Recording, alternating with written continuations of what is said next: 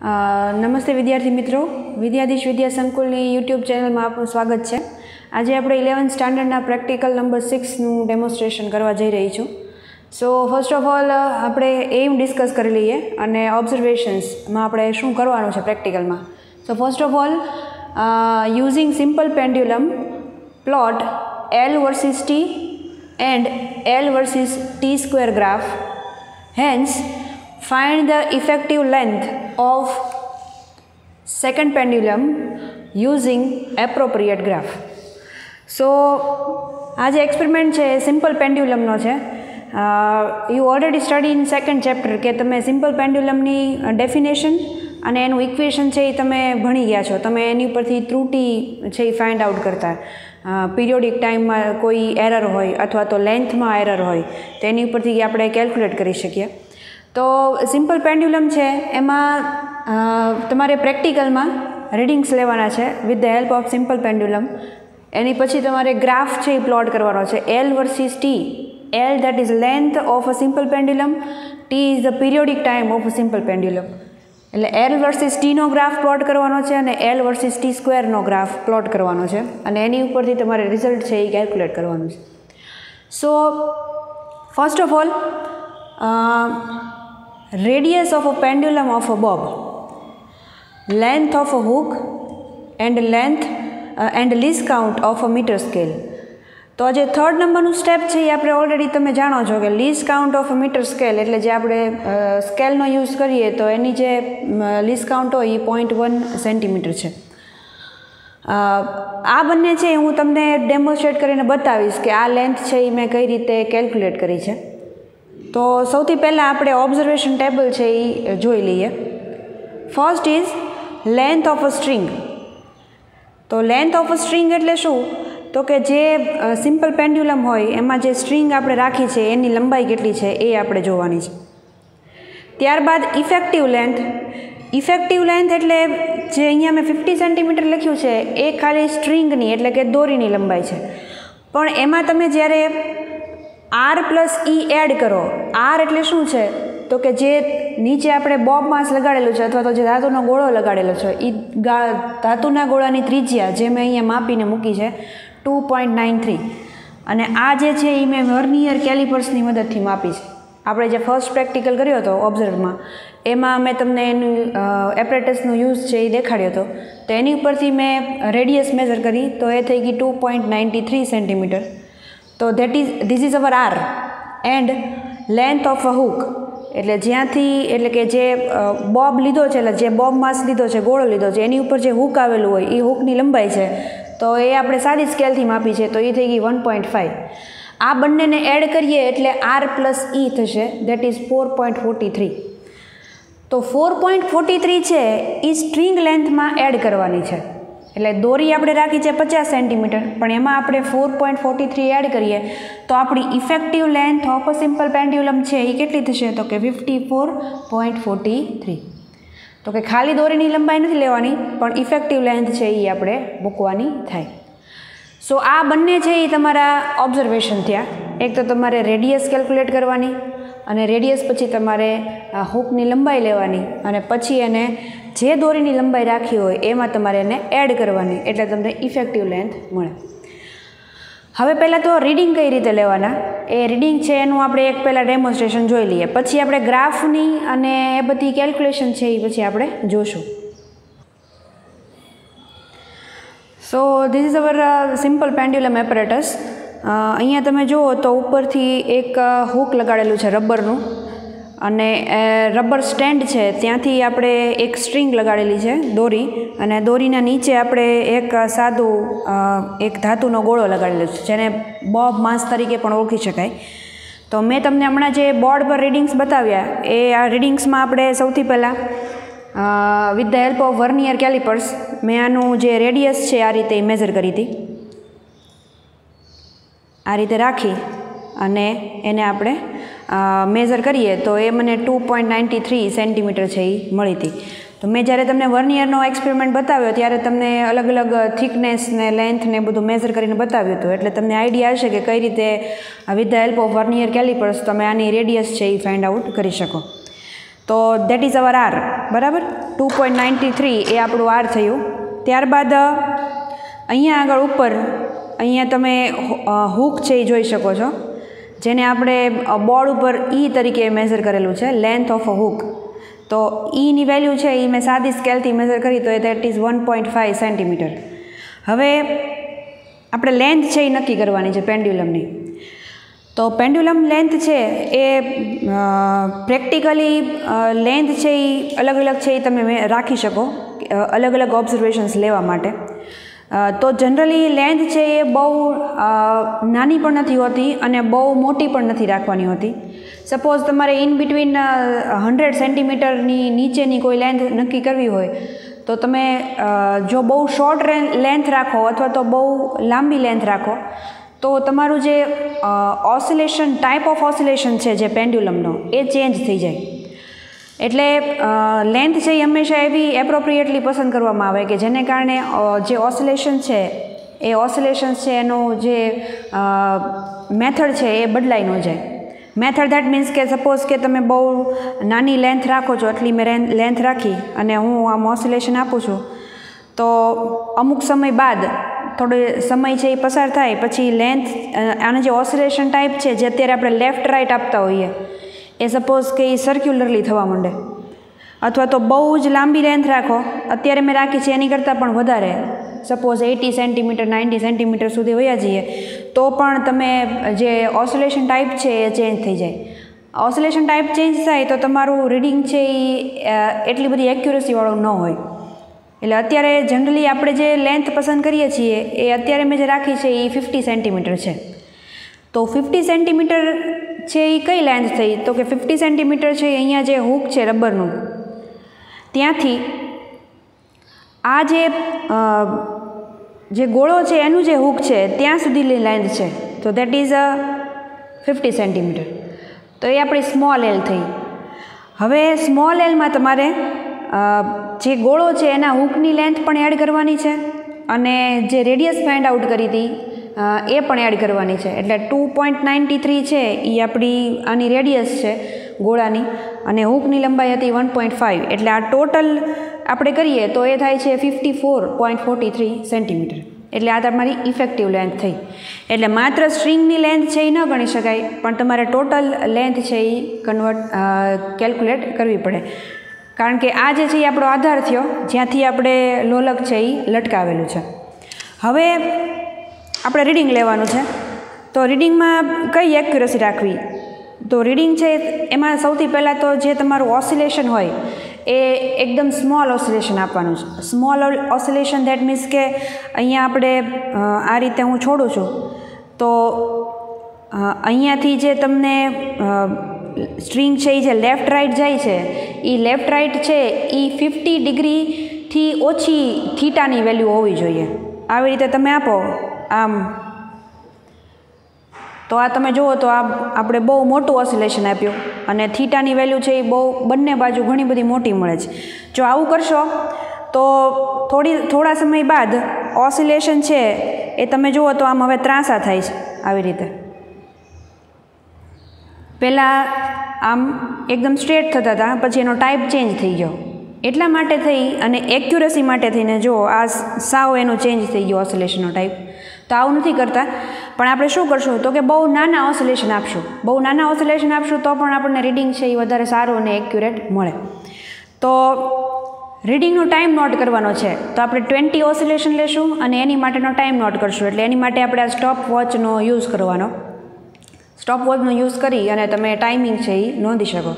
તો generally twenty twenty five oscillation fifty oscillation છે એ લેવાના થાય. બહુ ઓછા ઓસિલેશન આપો તો એક્યુરસી ઓછી મળે. જેમ નંબર ઓફ ઓસિલેશન છે એ વધારે હોય, એમ પ્રેક્ટિકલની એક્યુરસી છે એ વધે. તો હું નાનું એવું ઓસિલેશન આપીશ આને. આપણે બહુ મોટું ઓસિલેશન નથી આપવાનું.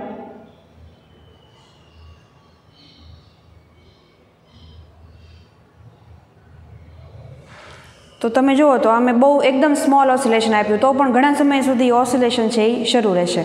હવે કાઉન્ટ કરવાનું છે કે કેટલા કઈ રીતે કાઉન્ટ કરાય ઓસિલેશન તો સપોઝ કે હું અહીંયા આ બાજુથી હું અહીંયા ઊભી છું, તો મારી અહીંયા જમણી બાજુથી ગણું, તો આ ફર્સ્ટ ઓસિલેશન કમ્પ્લીટ થયું. અહીંયાથી જશે અને પાછું આવશે એટલે એક ઓસિલેશન પૂરું થાય. તો આવા ટ્વેન્ટી ઓસિલેશનનો ટાઈમ છે એ અત્યારે નોટ ડાઉન કરીશ. તો જ્યારે અહીંયાથી જાય ત્યારે સ્ટોપ ક્લોક શરૂ કરવાની અને ગણતા જવાનું વીસ અને પછી પાછું આવે એટલે વીસ કમ્પ્લીટ થાય એટલે તમારે સ્ટોપ ક્લોક છે એ બંધ કરી દેવાની.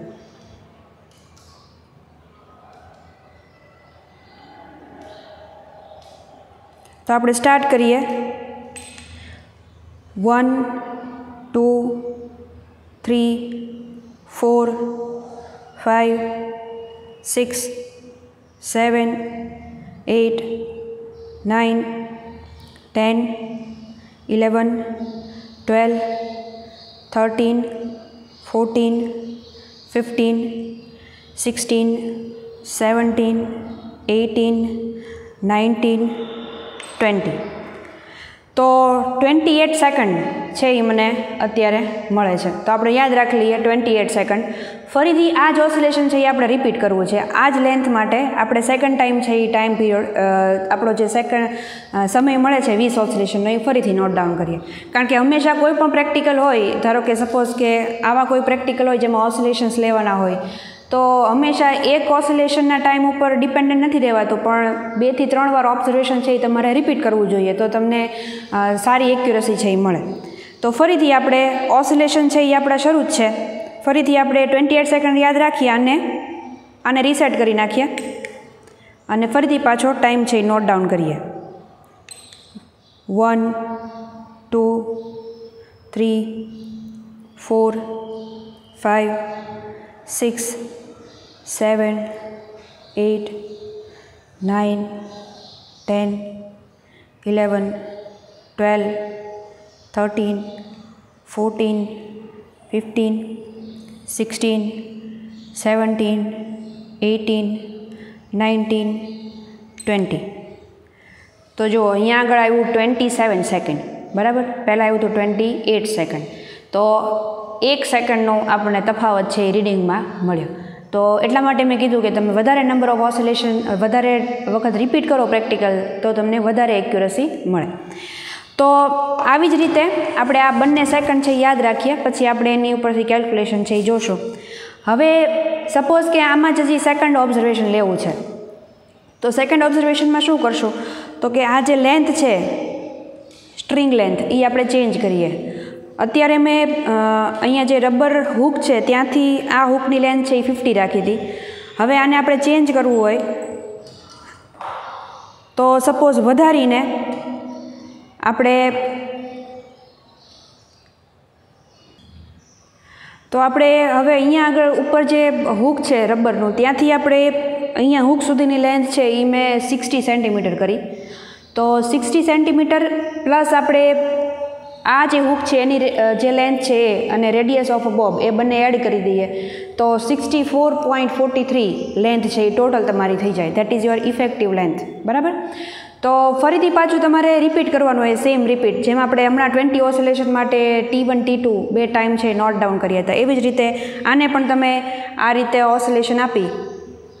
ના ના, એકદમ. અને ફરીથી પાછું તમે ઓસિલેશનનો ટાઈમ છે એ નોટ ડાઉન કરી શકો. તો ફરી પાછું બીજી લેન્થ માટે મળે. તો આવું ટોટલ તમે બેથી ત્રણ લેન્થ છે, એની માટે પ્રેક્ટિકલ છે એ રિપીટ કરી શકો. Generally forty to seventy in between length છે એ લઈ અને પ્રેક્ટિકલ કરો, તો વધારે એક્યુરસીવાળો ટાઈમ પીરિયડ છે એ તમને મળશે. તો હવે આની પછી આપણે કેલ્ક્યુલેશન થોડી જોઈ લઈએ અને ગ્રાફ કઈ રીતે પ્લોટ કરાય એ થોડું જોઈ લઈએ. સો આપણે હમણાં જે બે, એક ઓબ્ઝર્વેશન જોયું ફિફ્ટી સેન્ટીમીટર માટે. એ અહીંયા મેં નોટ ડાઉન કરેલું છે બોર્ડ પર.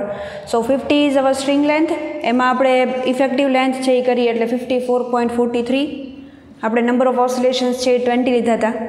અને મેં બે વખત છે એ પ્રેક્ટિકલ છે એ ઓબ્ઝર્વેશન રિપીટ કર્યા. તો T one and T two that is twenty seven and twenty eight centimetre sorry second તો ટ્વેન્ટી સેવન અને ટ્વેન્ટી એટ સેકન્ડ છે, એનો આપણે મીન લઈ લઈએ, એટલે કે એવરેજ લઈ લઈએ, સરેરાશ. તો સરેરાશ લઈએ એટલે ટ્વેન્ટી સેવન પોઈન્ટ ફાઇવ થઈ જશે. સ્મોલ ટી મળ્યું છે એની ઉપરથી કેપિટલ ટી એટલે ટાઈમ પીરિયડ છે એ કેલ્ક્યુલેટ કરવાનો. તો ટાઈમ પીરિયડનો ઇક્વેશન થાય capital T is equal to small T by N એટલે કે નંબર ઓફ ઓસિલેશન સાથે તમારે જેમાં તમારો જે ટાઈમ મળ્યો હોય એને તમારે ડિવાઈડ કરી નાખવાનું. તો આપણે twenty seven point five total time છે એ હતો, વીસ ઓસિલેશનનો અને નંબર ઓફ ઓસિલેશન છે એ આપણા ટ્વેન્ટી છે. તો કેલ્ક્યુલેશન કરો એટલે કેપિટલ ટી છે એ તમને one point thirty seven second મળશે. તો પિરિયોડિક ટાઈમ કેલ્ક્યુલેટ કર્યો અને એની સામે આપણી પાસે લેન્થ છે. અત્યારે આપણે એક જ ઓબ્ઝર્વેશન લીધું છે, પણ સપોઝ આપણે હજી આગળ લઈએ સિક્સટી પછી સેવન્ટી તો અહીંયા થઈ જશે sixty four point forty three અને અહીંયા થશે seventy four point forty three એની માટે પછી પાછું તમે બધા ઓબ્ઝર્વેશન લ્યો અને છેલ્લે તમે પિરિયોડિક ટાઈમ કેલ્ક્યુલેટ કરો. તો એની ઉપરથી તમે ગ્રાફ છે એ પ્લોટ કરી શકો. તો આપણું જે એમ છે એમાં લખેલું છે એલ વર્સિસ ટીનો ગ્રાફ પ્લોટ કરો અને એલ વર્સિસ ટી સ્ક્વેરનો ગ્રાફ પ્લોટ કરો. અને with the help of graph તમારે સેકન્ડ પેન્ડ્યુલમ માટેની કરેક્ટેડ લેન્થ છે એ ફાઇન્ડ કરવાની છે. અને બીજી પણ એમાંથી કેલ્ક્યુલેશન થઈ શકે. તમે સ્લોપ ઉપરથી ગ્રેવિટેશનલ એક્સરેશન સ્મોલ જીની વેલ્યુ પણ કેલ્ક્યુલેટ કરી શકો. તો સપોઝ ફર્સ્ટ ગ્રાફ છે એ આ રીતે પ્લોટ થાય. એક્સ એક્સિસ ઉપર આપણે લેન્થ છે એ લઈ લઈશું કેપિટલ એલ ઇન સેન્ટીમીટર અને વાય એક્સિસ ઉપર આપણે ટી એટલે આપણો જે પિરિયોડિક ટાઈમ છે દેટ ઇઝ ઇન સેકન્ડ તો આપણે એ રીતે લઈ લઈએ. લેન્થ છે એ જે તમારી છે કરેક્ટેડ લેન્થ કેપિટલ એલ છે એ તમારે અહીંયા આગળ પ્લોટ કરવાની હોય. તો fifty four sixty four seventy four એ રીતે તમને મળ્યું છે. તો તમારે સ્કેલ છે અહીંયા પહેલાં નક્કી કરવો પડે કે તમે કઈ રીતે સ્ટાર્ટ કરશો. તો ટ્વેન્ટી ટ્વેન્ટી સેન્ટીમીટર નો ગેપ રાખી અને આપણે સિક્સટી એટી હંડ્રેડ આ રીતે તમે લેન્થ બ્લોક હોય તમારી પાસે જે ગ્રાફ હોય એમાં તમે સ્કેલમાં લઈ શકો. એવી રીતે ટી માટે પણ તમે વન પોઈન્ટ થ્રી સપોઝ પછી આવ્યું one point four one point five એ રીતે તમને મળ્યું હોય તો તમે અહીંયા આગળ પોઈન્ટ ફાઇવના ગેપે one point five two two point five આ રીતે સ્કેલ છે એ લઈ શકો. પછી તમારે જ્યારે પ્લોટ કરવું હોય તો તમારે જોવું પડે ફિફ્ટી ફોર લેન્થ છે એન્ડ વન પોઈન્ટ થ્રી છે એ ટાઈમ પીરિયડ છે. તો ફિફ્ટી ફોર છે એ સપોઝ અહીંયા ઇન બિટવીન ફિફ્ટી હોય. તો અહીંયા ફિફ્ટી ફોર મળતું હોય તો અહીંયા તમને વન પોઈન્ટ થ્રી એટલે વન અને વન પોઈન્ટ ફાઇવની વચ્ચે તમને પ્લોટ મળે. તો ત્યાંથી તમારે આમ કરી અને અહીંયાથી અહીંયા આગળ પોઈન્ટ કરવાનું થાય. તો આ પોઈન્ટ કરો અને એ પોઈન્ટ્સ છે એ બધા જોડો તો તમને પર્વલય આકારનો શેપ મળશે. એલ વિરુદ્ધ ટીનો ગ્રાફ તમે દોરો તો એ તમને હંમેશા પર્વલય મળે. અત્યારે કદાચ આ ગ્રાફ એટલો બધો ન સમજાય, પણ તમે જ્યારે ઓસિલેશન્સનું ચેપ્ટર કરશો જે ફોર્ટીન આઈ થિંક બીજા ભાગમાં તમને આપેલું છે, તો ત્યારે કરશો તો તમને વધારે ત્યારે આ ગ્રાફ છે એ તમને ત્યારે વધારે સમજાશે. આ ગ્રાફ છે સેકન્ડ નંબરનો એમાં તમારે એલ વર્સિસ ટી સ્ક્વેરનો ગ્રાફ પ્લોટ કરવાનો. એટલે તમારે શું કરવું પડે? પહેલાં જે પિરિયોડિક ટાઈમ છે એનો સ્ક્વેર કરી નાખો. અને પિરિયોડિક ટાઈમનો સ્ક્વેર કરી અને પછી તમે અહીંયા એને પ્લોટ કરો. પ્લોટ કરવાની મેથડ આ જ છે. તમારે સ્કેલ માપ છે એ પહેલાં પસંદ કરવાનો. અને એની ઉપરથી તમે આ રીતે ઓરિજિનથી પોઈન્ટ્સ કરતા જાઓ. પોઈન્ટ્સ કરશો એટલે તમને આ રીતે આ જે ગ્રાફ છે એલ વર્સિસ ટી સ્ક્વેર એ સ્ટ્રેટ લાઇન મળશે. આ તમને કર્વ શેપ મળતો હતો, પણ આ આપણને સ્ટ્રેટ લાઇન મળે. જો બધા જ રીડિંગ બહુ સરસ આવ્યા હોય અને બહુ ઓછી એમાં ત્રુટી એરર હોય, તો સ્ટ્રેટ લાઇન મળે. અધરવાઇઝ અમુક પોઈન્ટ્સ છે એ બહાર રહી જાય. અમુક પોઈન્ટ્સ છે એ તમને લાઇનમાં મળે. પણ તમારે ડ્રો કરવાની છે સ્ટ્રેટ લાઇન કે જે ઓરિજિનમાંથી પાસ થતી હોય. તો ઓરિજિનમાંથી પાસ થતી હોય એવી સ્ટ્રેટ લાઇન ડ્રો કરી અને એ સ્ટ્રેટ લાઇન ઉપર આપણે એક રાઇટ એંગલ ટ્રાયંગલ બનાવીએ. That is A B C તમે જાણો છો, હવે એ એ બી અપોન બીસી કરીએ તો તમને સ્લોપ ઓફ અ ગ્રાફ મળે. તો slope is equal to A B upon BC A B upon BC છે એ તમને ટી સ્ક્વેર અપોન એલ આપશે. Because A B is T square BC is L પણ તમે એનું વ્યસ્ત કરો that is one upon slope તો તમને મળે L upon T square now આ ઇક્વેશન છે એ ભણી ગયા. G is equal to four pi square L upon T square અને આ ઇક્વેશન છે એ ક્યાંથી આવ્યું? T is equal to two pi under root of L upon G square કરી નાખો બંને બાજુ એટલે T square is equal to four pi square L upon G થઈ જાય. જીને સબ્જેક્ટ ઓફ ફોર્મ્યુલા બનાવો તો G is equal to four pi square L upon T square તો આ જે મળ્યું, એ તમારો વન અપોન સ્લોપ છે. વન અપોન સ્લોપને તમે અહીંયા સબસ્ટિટ્યૂટ કરી અને ફોર પાય સ્ક્વેર સાથે મલ્ટીપ્લાય કરો એટલે તમને જીની વેલ્યુ છે એ મળે.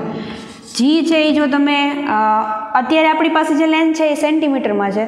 તો સેન્ટીમીટર પર સેકન્ડ સ્ક્વેર તો નાઇન એટી સેન્ટીમીટર પર સેકન્ડ સ્ક્વેરની નજીકનો મળવો જોઈએ. જો લેન્થને મીટરમાં કન્વર્ટ કરી હોય, તો nine point eight G is equal to nine point eight metre પર સેકન્ડ સ્ક્વેર આવો એક્ઝેક્ટ નહીં મળે.